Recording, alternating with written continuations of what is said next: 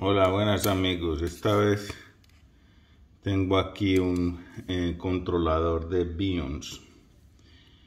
Este se lo desmonté al motor que tenía de mi bicicleta porque fallaba mucho, hacía como un brinco, como que trataba de andar y no andaba.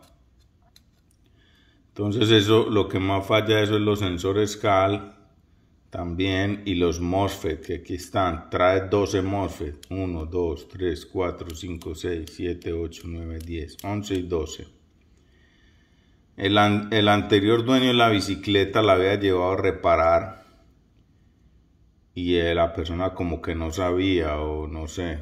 Pero mira o cortaron esto las patas de los MOSFET.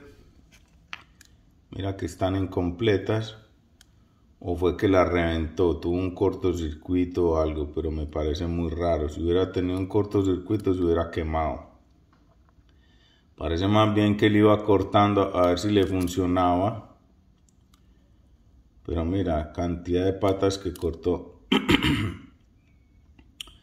Esto viene así, mira, motor Bions, el controlador Bions, aquí está la marca.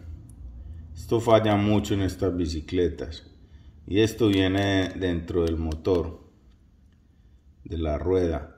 Aquí tenemos los sensores CAL aquí van una dos tres patas. Aquí está una dos tres patas. Y aquí está una dos tres patas ok van tres uno dos y tres. Ahí los tienen.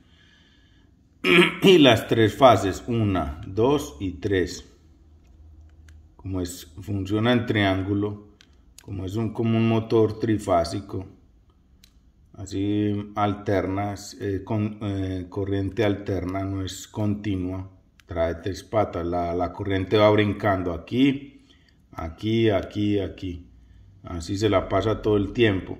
Entonces, claro, transfiere eso a las bobinas y las bobinas eh, chocan con los imanes y es lo que hace que gire la rueda. Estos controladores son muy malos. Y Bions los hacen para que solamente trabajen con las baterías de Bions como no para otras baterías. Entonces es muy complicado. Siempre que te haga la batería hay que comprar la misma batería de la misma marca para ese modelo. Porque vienen varios modelos también. Según la configuración esto trae estos chips y esto lee, lee directamente si es la batería que es. Si no es la batería que no está da el voltaje, el amperaje exacto que esto pide, no funciona el motor. Entonces son muy caras y sale muy costoso. Entonces yo dije, bueno, le quito eso. De una vez ya me quito este problema porque los MOSFET no funcionaban, la rueda no andaba y, y ya, y le chequeo todo, lo limpio y lo, lo arreglo. La mayoría de los mofes vienen de tres patas. Entonces ahí está. Esto es lo que mueve realmente la corriente, la potencia, en qué momento la entrega y cómo la entrega. Entonces eso es todo. Aquí atrás trae como unas unos capacitores. Trae 1, 2, 3, 4, 5, 6, 7, 8, 9, 10, 11, estos dos pequeñitos también.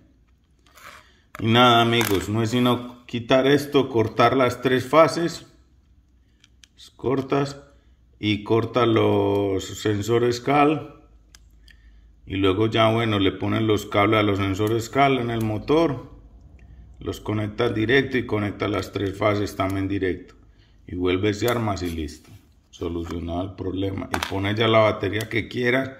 Pone ya un controlador chino de otro marca y ya no hay ningún problema. Ya pueden montar la batería que quieran. Vale, un abrazo. Venga, chao.